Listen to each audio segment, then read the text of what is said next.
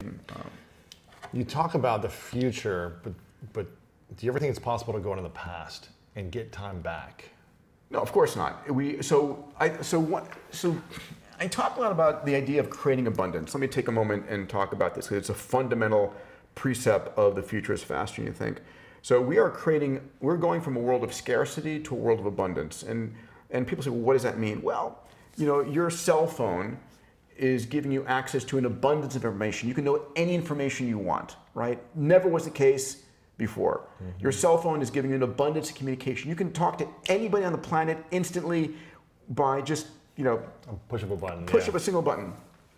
We're heading towards a world where we have an abundance of energy, going from scarcity of energy to abundance of energy. So think about it.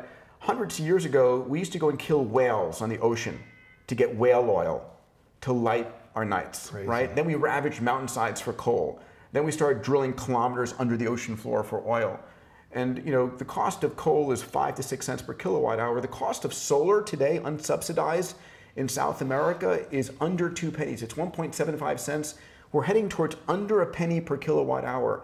So we're heading towards a world, you know, we have 6,000 times more energy, 6,000 times more energy that hits the surface of the earth than we consume as a species in a year.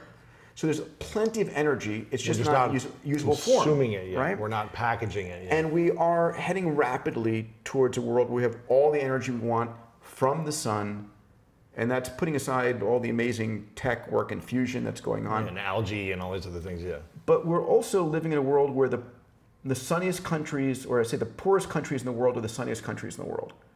Right? Really? And so if you Why think about that? that, well, just because of the, the heat of the equator and, mm-hmm. and so forth. I mean, South, South and Central America, Africa, Middle yeah. East, all of those countries are super sunny and they've got the lowest GDP economies. Um, but they're going to be able to get all the energy they need. All of it. And yeah. so, in almost every single area food, energy, water, healthcare, education we're heading towards a world of abundance.